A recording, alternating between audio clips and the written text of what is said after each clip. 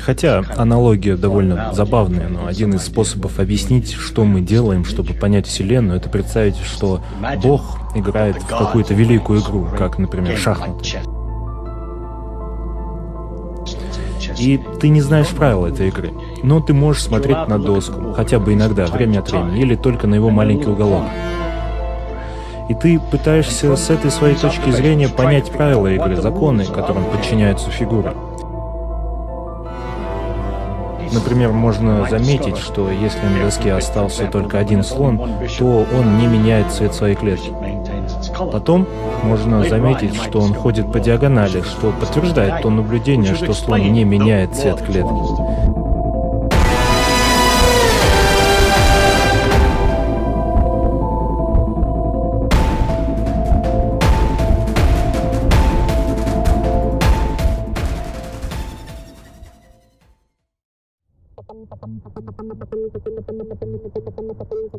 Будущем человечество, возможно, покинет Землю в поисках нового пристанища во Вселенной. Но куда оно отправится? Наша Солнечная система — опасное место. Здесь есть огнедышащие вулканические миры, планеты, на которых бушуют ветра скоростью до 2200 км в час, кислотные облака, жар, плавящий свинец. Есть ли среди этих неистовых миров какие-то, где мы могли бы когда-то поселиться? Мы отправляемся в путешествие, чтобы узнать это, обследовав планеты в нашей Солнечной системе и за ее пределами. Мы выходим на поиски новых миров, чтобы найти среди них тот, что мы, быть может, когда-нибудь назовем своим домом.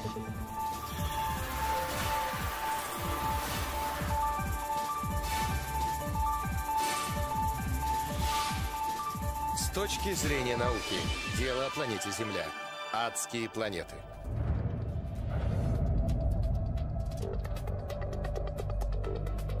Представьте себе город из 200 миллиардов звезд.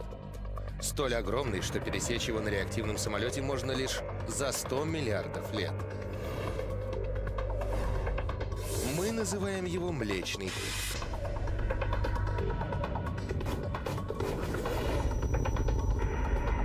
Краю одного из его шести спиральных рукавов находится наша звезда, Солнце, со своей планетной системой.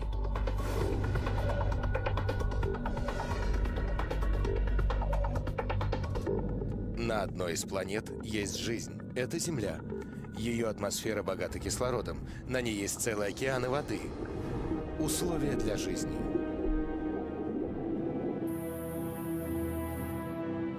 Но наш мир меняется. Меняется климат, тают полярные снеговые шапки, повышается уровень мирового океана. В течение следующих тысячелетий суша может скрыться под водой океанов. Огромные территории могут стать непригодными для обитания, что приведет к катастрофическому перенаселению планеты. Чтобы выжить, будет необходимо новое пространство. Нам предстоит путешествие по Солнечной системе и за ее пределы в поисках нашего нового дома. Мы откроем удивительную планету, атмосфера которой пригодна для жизни. Здесь благоприятные температуры и давление. И я думаю, что жизнь могла бы существовать здесь. Но есть и такие ужасные миры, где выжить не было бы никаких шансов. Невозможно даже просто пролететь сквозь систему и остаться в живых. Вы просто изжаритесь. Поиски нового дома не обещают быть легким делом. Мы возникли на Земле. Где еще мы найдем место, планету, где мы сможем хотя бы выжить? Начало нашего странствия на Меркурии, ближайшей к Солнцу планете. Расстояние до Земли 77 миллионов километров. Диаметр втрое меньше диаметра Земли. По имеющимся данным, Меркурий окружен атмосферой, содержащей следы кислорода. Но может ли там жить человек? Меркурий очень медленно вращается вокруг своей оси, сутки длятся 58 земных суток. Темная сторона планеты настолько долго не получает солнечных лучей, что успевает остыть до невероятно низкой температуры – минус 185 градусов по Цельсию. Это почти втрое холоднее, чем в самых холодных уголках Земли. В то же время на той стороне Меркурия, что обращена к Солнцу, стоит палящий зной – 450 градусов. Это температура паяльной лампы. Жар настолько силен, что почти вся атмосфера Меркурия давным-давно буквально испарилась в космическое пространство. Оставшийся кислород крайне разрежен. Его было бы попросту недостаточно для дыхания.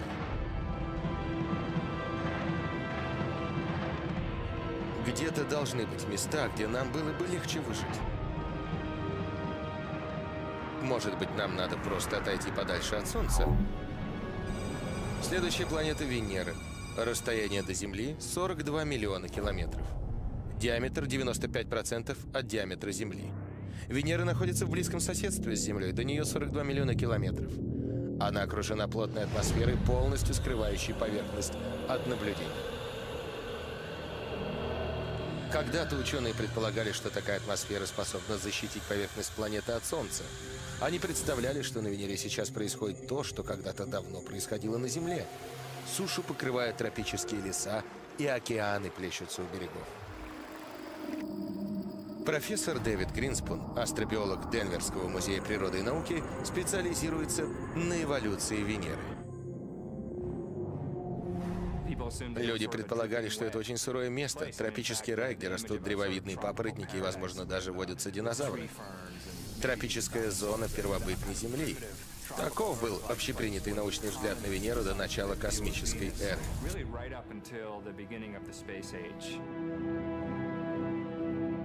Поверхность Венеры интриговала ученых.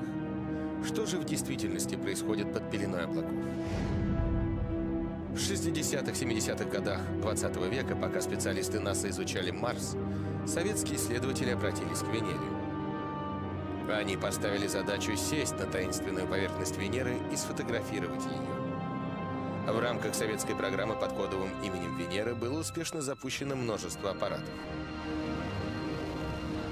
Но все они загадочным образом теряли связь с Землей после входа в атмосферу Венеры. Цель была достигнута лишь в октябре 1975 года, когда аппарат Венера-9 впервые сумел передать изображение с поверхности Венеры. Вместо пышного зеленого мира Венера оказалась выжженной пустыней. Ученые полагают, что кислотные облака являются собой плод бурного прошлого планеты. Гигантские извержения вулканов подняли в верхние слои атмосферы миллиарды тонн серных ангидридов, которые, соединившись с водяным паром, образовали концентрированную серную кислоту. Пробившись через верхние слои атмосферы, зонд замедляется, чтобы на небольшой скорости пройти над поверхностью планеты. Господствующие точки ландшафта – затихшие вулканы, возвышающиеся на 5 километров над поверхностью Венеры. На многие тысячи километров тянутся застывшие миллион лет назад потоки лавы. Один из них превосходит по длине реку Нил. Датчики зонда фиксируют величину атмосферного давления в 90 раз больше, чем на Земле. Этой силы хватило бы, чтобы раздавить легковой автомобиль. Однако главным препятствием остается температура. Атмосфера почти целиком состоит из углекислого газа. Как и на Земле, этот газ действует подобно стеклам теплицы. Он пропускает внутрь свет, но не выпускает тепло. На Земле повышенный уровень углекислого газа вызывает небольшие отклонения температуры. На Венере же он поднял температуру более чем до 500 градусов по Цельсию. Удивительно, но несмотря на то, что на поверхности Венеры плавится свинец, на Венере может существовать жизнь. Миллиарды лет назад океаны первобытной Венеры могли быть населены простыми организмами.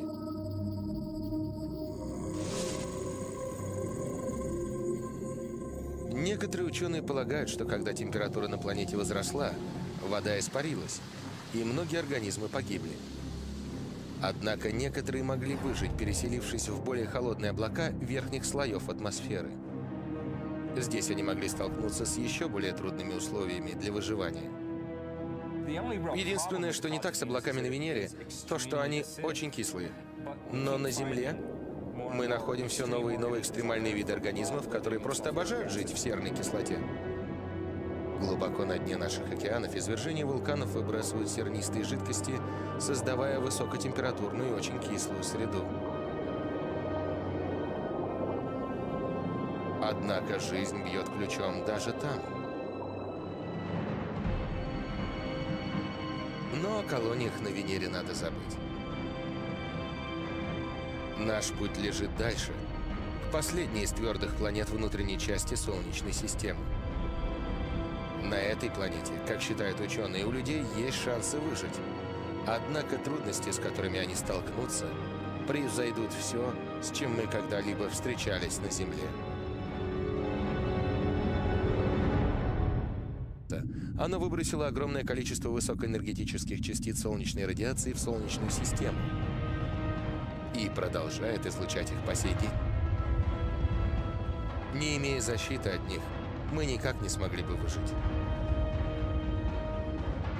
Нам повезло. У нашей планеты появилось собственное магнитное поле.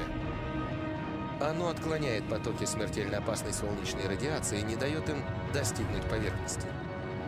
Но вот у Марса магнитного поля нет, а значит нет и защиты. За тысячелетия солнечная радиация лишила Марс атмосферы.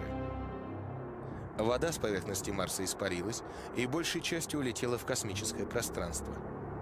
Поверхность планеты обратилась в пустыню.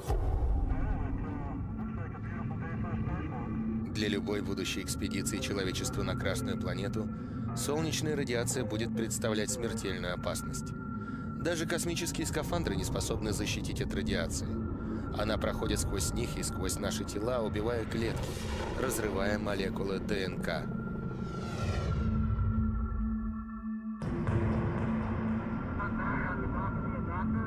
Если людям придется жить и работать на поверхности Марса, понадобится серьезная защита.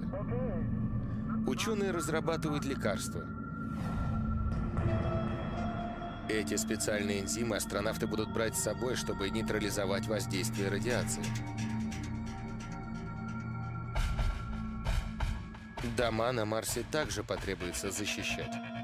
Ученые изобрели особый вид пластмассы на основе полиэтилена – она легче и прочнее металлических защитных экранов, но столь же эффективна. Планируется встраивать ее в конструкцию марсианских обитаемых сооружений. Вооружившись этими передовыми технологиями, люди когда-нибудь смогут всерьез подумать о том, чтобы поселиться на Марсе. Однако здесь есть еще одна опасность. После того, как радиация обезводила поверхность Марса, на ней осталась сухая железоокисная пыль. Вот она, марсианская песчаная буря. Эти смерчи еще очень маленькие, однако и они способны поднять пыль высоко в атмосферу. Проблема в том, что произойдет потом. Профессор Рон Грилли изучает атмосферные явления на Марсе уже более 30 лет и его знания будут жизненно важны для любой экспедиции человечества на Марс. Грилли воссоздает эти смерчи в лаборатории, используя жидкий азот и вентиляторы. Они образуются, когда Солнце разогревает поверхность, и порция горячего газа, скопившаяся в кармане, внезапно поднимается, закручиваясь сквозь вышележащий, более холодный воздух. Струя газа всасывает тонкую железоокисную пыль и забрасывает ее в верхние слои марсианской атмосферы. Эрчи бывают очень разными по размеру. От метра до сотен метров в диаметре. Они могут быть очень большими. Пыль должна куда-то деваться. Грилли полагает, что мини-смерчи могут затем провоцировать намного более крупные песчаные бури. Нам случается наблюдать локальные пыльные бури, которые разрастаются до глобальных масштабов. Торнадо, которые срастаются между собой. Вся планета обволакивается облаком пыли, и мы не можем разглядеть поверхность. Однако в катаклизмах планетарного масштаба повинны не одни лишь пыльные бури. Ветер, дующий у поверхности, поднимает пыль в атмосферу, превращаясь в сильную бурю. Такое случается и на Земле. Эти спутниковые снимки запечатлели бурю, бушующую над пустыней Сахара в Африке. По ним можно судить о ее огромных масштабах. Сходство с марсианской бурей поражает.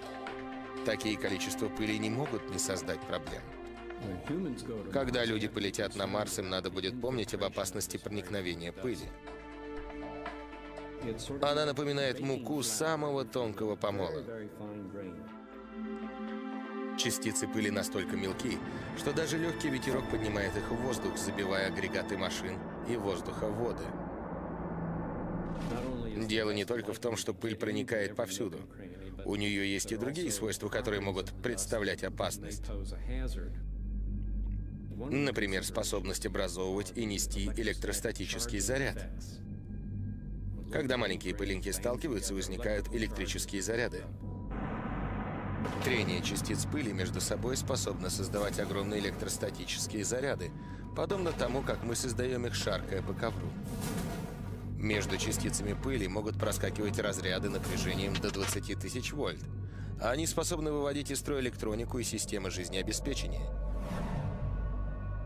Думая о возможности человеческого присутствия на Марсе, мы должны помнить о пыли, понимать, какие электростатические эффекты они могут создавать.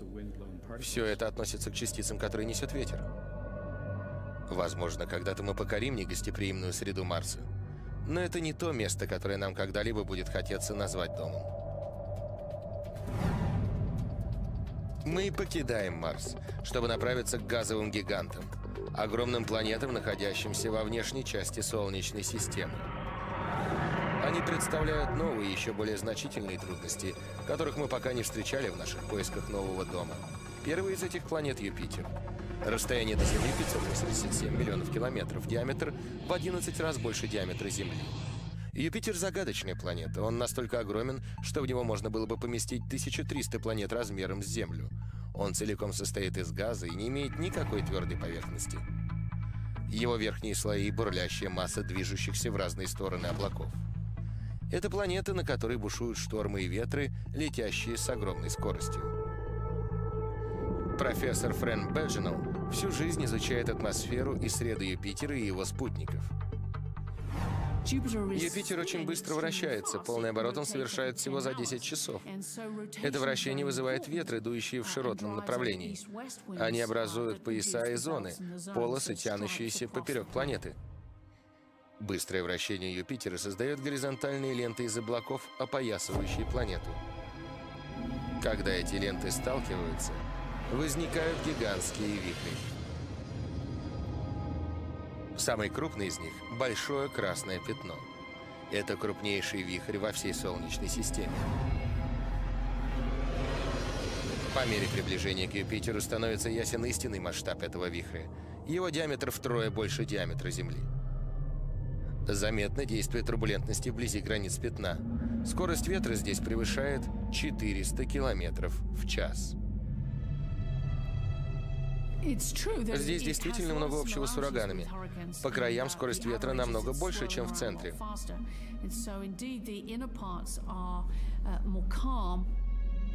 На первый взгляд красное пятно похоже на ураган. Но здесь есть важное отличие. На Земле ураганы подпитываются теплыми водами океана, и как только они достигают суши, они начинают угасать. Как правило, время их жизни около двух недель.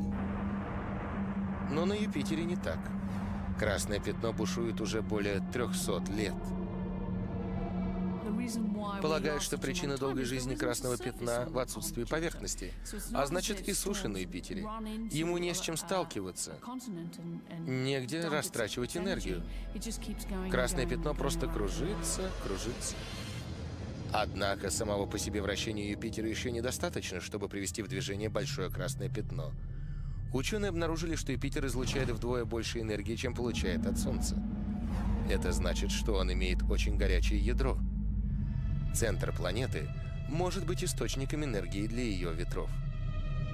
Он заслуживает более пристального взгляда. Мы проходим сквозь верхние слои атмосферы и спускаемся ниже. Наш корабль входит в огромные водяные облака. Давление возрастает, и ближе к центру оно превращает атмосферный водород в странный жидкий металл, напоминающий ртуть. Это ядро. Вращающаяся печь, раскаленная более чем до 22 тысяч градусов по Цельсию. По оценкам ученых, давление здесь в 100 миллионов раз выше, чем на поверхности Земли. Как объяснить вам, что это за давление? Если девушка на шпильках случайно наступит вам на ногу, это большое давление. Теперь представьте себе слона на шпильках, который стоит на одной ноге. Но чтобы приблизить давление к тому, что существует в центре Юпитера, вам понадобится тысяча слонов, стоящих друг на друге, самый нижний из которых стоит на шпильках на одной ноге.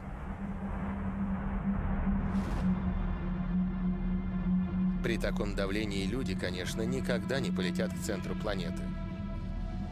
Но можно ли выжить в верхних слоях атмосферы? Ответ мы находим на одном из спутников Юпитера, который оказывает необычайное воздействие на газового гиганта. Он мог бы казаться незаметным на фоне Юпитера, но оказывается, у этого маленького мира есть сильный кулак.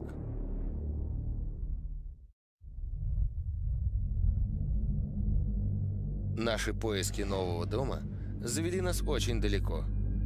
Мы в 584 миллионах километров от Земли на околоюпитерианской орбите. Могли бы мы выжить здесь? Быть может, в высокотурбулентных верхних слоях атмосферы. Это зависит от того, что происходит вокруг нас. На Юпитере, чтобы понять это, нужно взглянуть на его спутники.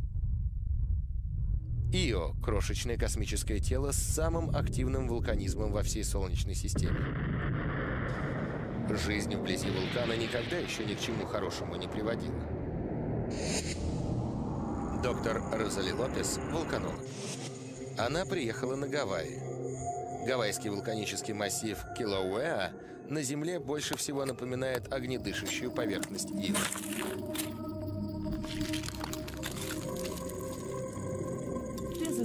Примерно так может выглядеть поверхность Ио, особенно вблизи лавовых потоков. Там могут быть именно такие потоки. Твердая корка на поверхности, под которой течет жидкая горячая лава. Как и Килауэа, вулканы на Ио выбрасывают лаву из перегретой внутренней части космического тела. Но на этом сходство кончается. Объем лавы, который выбрасывают вулканы Ио, изумляют. Килауэа за пять месяцев может залить лавой 10 квадратных километров. Вулкан на Ио извергает в 100 раз больше лавы. На Ио есть один лавовый поток, покрывающий около 600 квадратных километров. Вулканы Килауэа получают энергию главным образом от распада радиоактивных элементов глубоко в мантии Земли.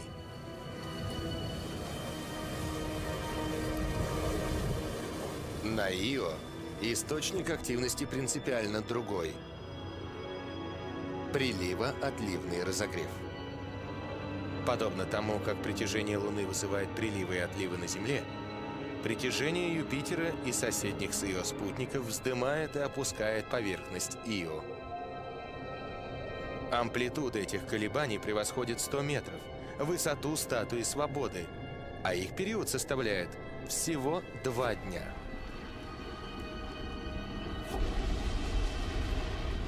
Пульсация коры Ио создает огромное внутреннее трение. Температура и давление растут. Твердая порода превращается в расплавленную лаву, из которой подчас образуются озера, равные по площади штату Аризона. Вулканы Ио смертельно опасны, но не они представляют главную угрозу. Прежде чем до вас доберется лава, это сделает радиация. Всего 10 минут на поверхности Ио достаточно для того, чтобы поджариться, как бутерброд в микроволновке. Даже в 300 тысяч километров от Ио, в верхних слоях атмосферы Юпитера, человек без защиты мог бы прожить лишь несколько часов. Частицы, которые выбрасывают во время извержения вулкана Ио, захватываются сильнейшим магнитным полем Юпитера. Интенсивное вращение Юпитера разгоняет их до невероятных скоростей. Они становятся подобны микроскопическим пушечным ядрам.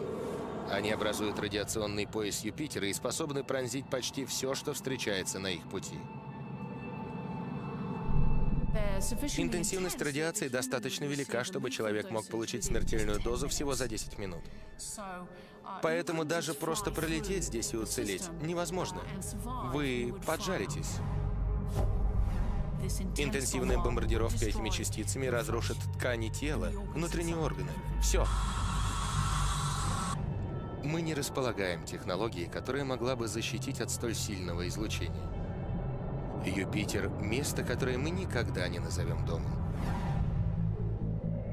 Может быть, следующая планета оставит нам больше надежд. Уровень радиации на Сатурне ниже, но это еще не значит, что там мы будем в безопасности. Расстояние до Земли 1 миллиард 280 миллионов километров. Диаметр в 9 раз больше диаметра Земли. С Земли Сатурн кажется совершенно ровным, но это впечатление обманчиво. Кольца Сатурна могут выглядеть твердыми, но на самом деле они состоят из неисчислимого множества обломков льда и камня, иные из которых размером с гальку, а иные — с автомобиль. Все они движутся со скоростью автоматной пули. Однако главная опасность Сатурна в его атмосфере. Как и на Юпитере, здесь есть пояса кольцевых ветров, дующих в противоположных направлениях. Облака движутся вокруг планеты на скорости более полутора тысяч километров в час. Там, где эти пояса соприкасаются, происходит столкновение мелких частиц, приводящие к появлению огромных электрических зарядов. Как утверждает теория, когда заряды становятся слишком большими, между облаками возникает дуговой разряд. Так появляются гигантские молнии. Доктор Кевин Грецер – планетолог, изучающий атмосферные условия на Сатурне. Здесь есть условия для передачи больших электрических зарядов между поясами облаков, в результате чего возникает высокие напряжения и огромной силы грозовые разряды.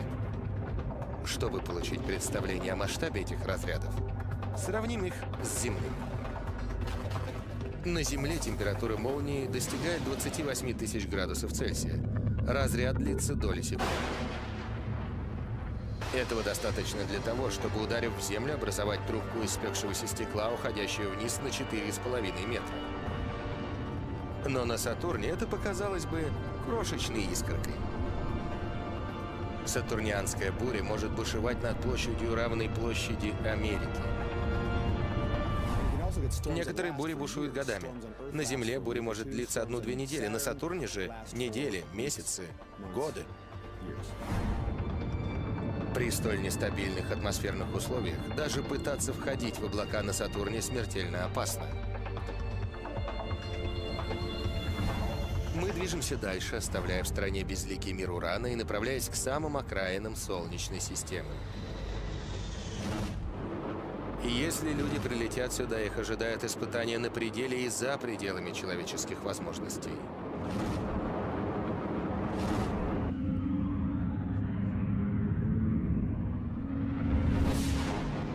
будущем человечество отправится к далеким планетам в поисках тех из них, где мы могли бы продолжать жить. Наша следующая остановка — Нептун. Расстояние до Земли 5 миллиардов километров, диаметр в 4 раза больше диаметра Земли. На таком расстоянии трудно поддается наблюдению. Чтобы рассмотреть его, астрономам приходится подниматься высоко над облаками и грязной дымкой нижних слоев атмосферы. Это обсерватория Кек на Гавайях. Она находится на вершине Мауна-Кеа на высоте 4200 метров. Ее телескопы настолько мощны, что в них можно было бы разглядеть горящую свечку на поверхности Луны. Доктор Хейди Хамель изучает Нептун более 20 лет. Кекская обсерватория открыла ей возможности для исследования этого далекого мира.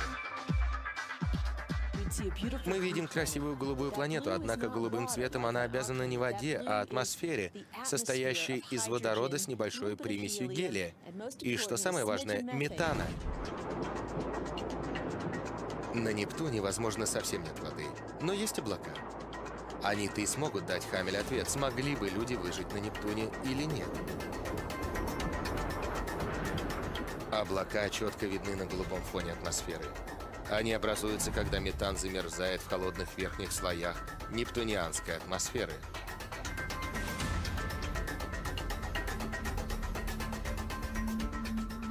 Телескоп Кек направляется на Нептун.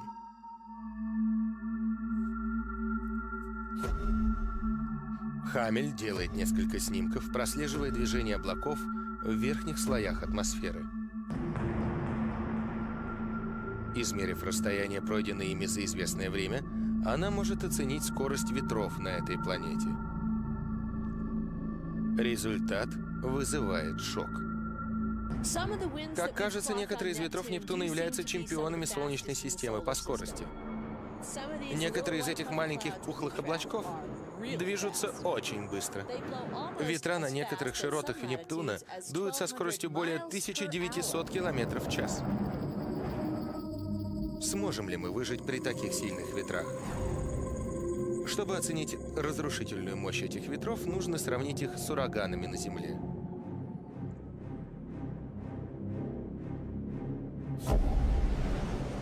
Один из самых разрушительных видов ветра – торнадо.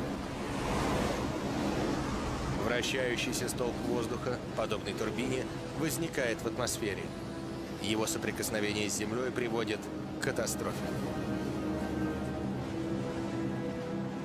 3 мая 1999 года в 7.25 утра на пригороды Оклахома обрушился смерч, которому была присвоена пятая категория. Он прошел сквозь сердце этого района, разрушая строение, переворачивая машины, словно игрушки, и срывая покрытие с шоссе. Ученые измерили скорость ветра изнутри. 511 км в час. Самая большая скорость ветра, зафиксированная когда-либо на Земле.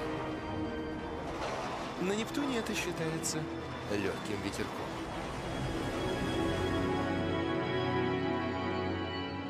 Выжить в условиях ветров этого газового гиганта было бы невозможно. Однако яростные бури Нептуна могут спасти жизни здесь, на Земле. Изучение этих неистовых ветров может помочь нам лучше понять метеосистемы нашей планеты, чтобы успешнее прогнозировать наиболее опасные ураганы. Этому способствует простота Нептуна.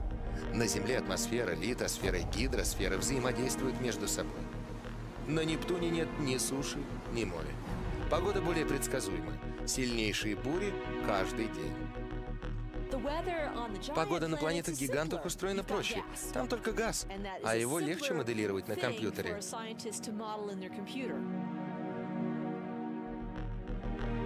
Ученые могут использовать Нептун, чтобы проверять на нем модели, созданные для Земли. Компьютерные модели взаимодействия метеосистем. Научившись достоверно предсказывать погоду на Нептуне, они будут на шаг ближе к получению точных метеопрогнозов для Земли. А в наших поисках нового дома одно становится ясным. Сюда люди никогда не прилетят. Однако у Нептуна есть сосед, имеющий твердую поверхность и не подверженный бурям.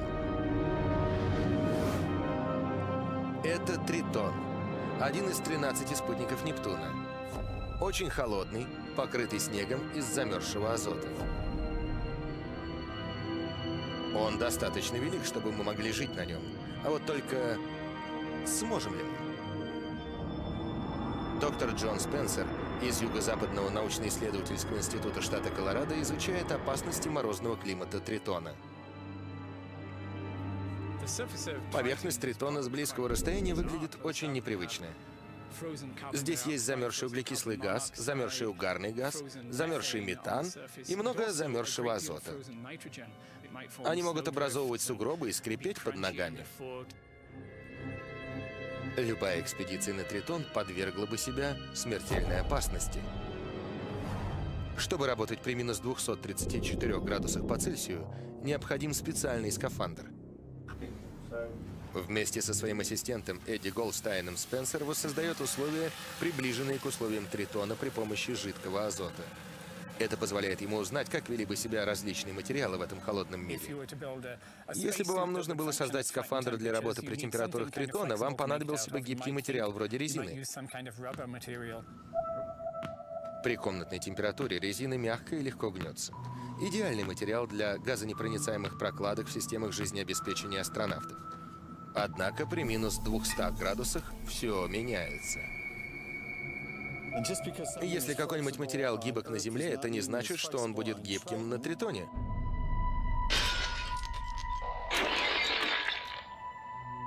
Молекулы каучука обладают гибкостью при высоких температурах. Однако стоит опустить резину в жидкий азот, и она становится твердой и хрупкой, как стекло.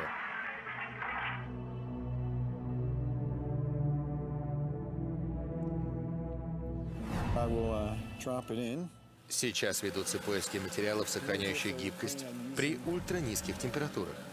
Внимание ученых обращено на известные всем материалы – ткани. Может быть, те самые, из которых сделана одежда, которую вы сейчас носите. Можно ли использовать нейлон в условиях космического холода? Он представляет интерес, потому что он остается гибким даже на холоде. Не потому что нейлон какой-то особенный материал, а потому что нейлоновая ткань состоит из очень тонких волокон. Секрет гибкости нейлона в выработке ткани. Волокна остаются гибкими, потому что каждый из них не толще человеческого волоса. Так что вы могли бы делать скафандры из подобного материала. Однако с ним необходимо по-другому работать, чтобы учесть особенности крайне необычной среды Тритона. Даже если люди, одевшись в высокотехнологичные скафандры, смогут ходить по поверхности Тритона, их будет подстерегать опасность, которая таится под ногами. Мы видим размытые полосы, струи какого-то вещества, выбивающиеся из-под поверхности Тритона. Эти темные следы являются знаком скрытой угрозы Тритона. Под ледяной поверхностью скрываются океаны жидкого азота. Когда Солнце нагревает Тритон, азот превращается в газ. Сжатый азот вырывается наружу гейзером, сметая пыль высоко в атмосферу.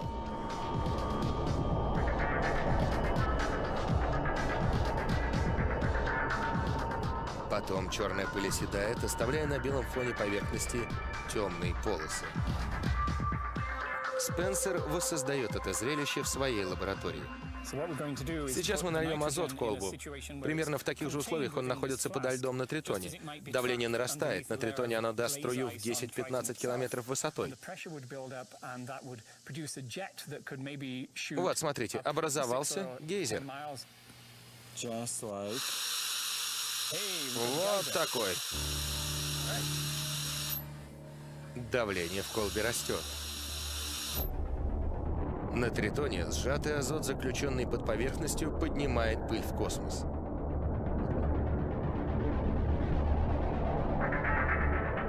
Мир неистовых гейзеров и сокрушительного холода. Вооружившись соответствующей технологией, люди когда-нибудь смогут ступить на поверхность Тритона, но поселиться здесь будет нелегко. В Солнечной системе нам искать больше нечего. На столь большом расстоянии от Солнца любая планета будет холодной и пустынной. За Нептуном остаются лишь маленькие безжизненные миры, подобные Плутону. Дальше неизвестность. Там, за пределами Солнечной системы, возможности поиска безграничны. И там, возможно, мы когда-нибудь и найдем место, которое мы назовем нашим домом.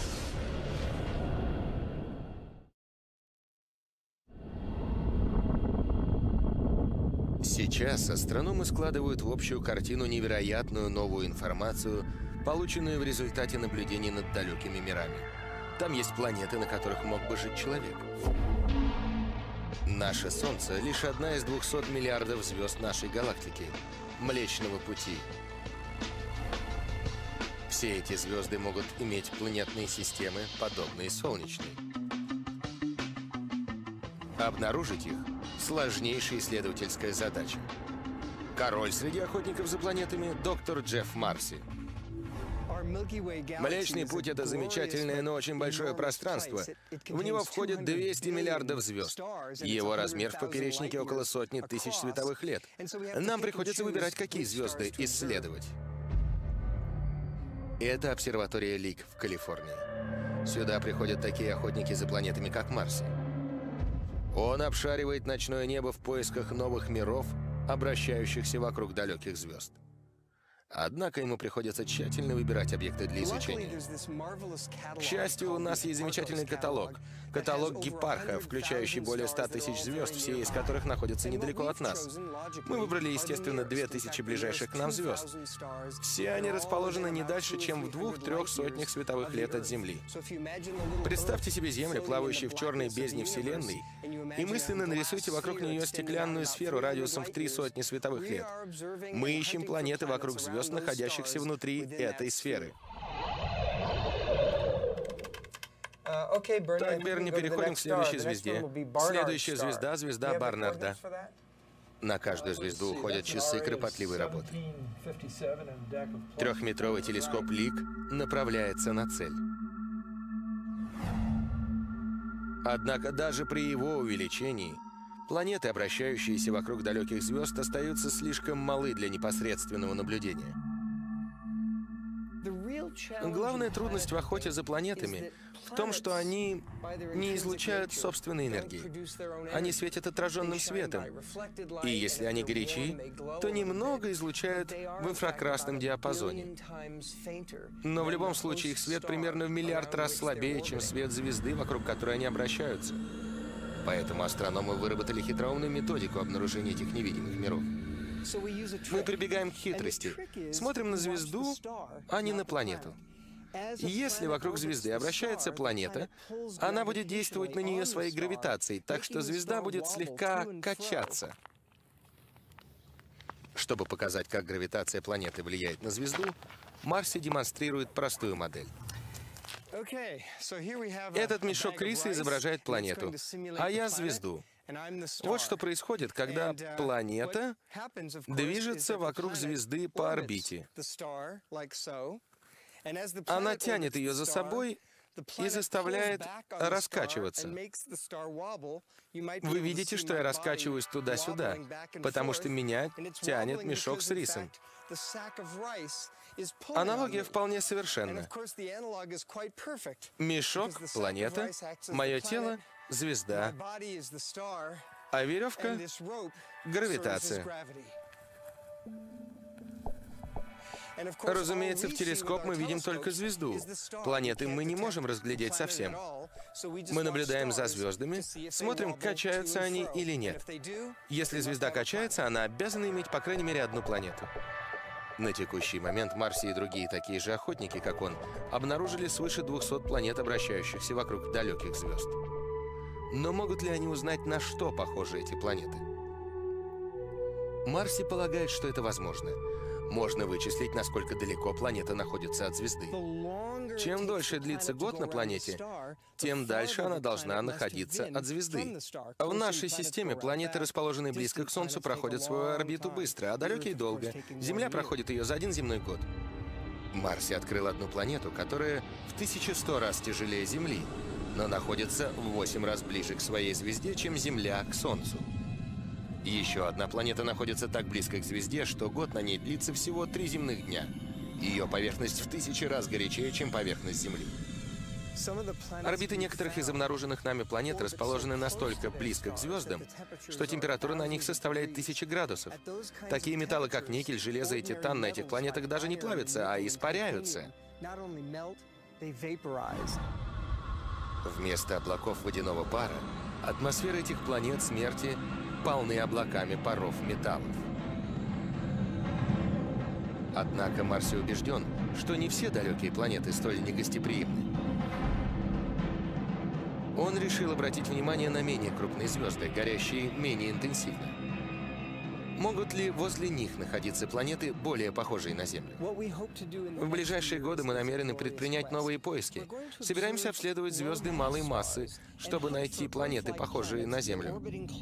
Они могут быть на орбитах малых радиусов, но около неяркой звезды не будет ни слишком горячо, ни слишком холодно. В самый раз для жизни. Бесчисленные планеты еще предстоит открыть. Может быть, на каких-то из них есть атмосфера, пригодная для дыхания, и океаны воды. На них может быть жизнь. Но их поиски сопряжены с огромными трудностями. Пока поиски к успеху не привели. Судя по тому, насколько неблагоприятны для жизни оказались условия на других планетах нашей Солнечной системы, задача перед учеными стоит очень непростая. Нестерпимый жар Венеры. Ярость вулканов Ио. Ветры Нептуна, дующие со скоростью 2240 км в час. Миры, которые мы видели до сих пор, неприступны для человечества даже с самыми современными технологиями. Единственная планета, на освоение которой можно надеяться, это Марс. Если нам удастся справиться с пыльными бурями и солнечной радиацией, может быть, когда-нибудь мы сможем там жить. Может быть, в будущем когда климат на Земле станет совсем неблагоприятным, Марс приютит нас. До этого времени человечеству придется приспосабливаться и продолжать свое неуклонное развитие в непрерывно меняющемся мире.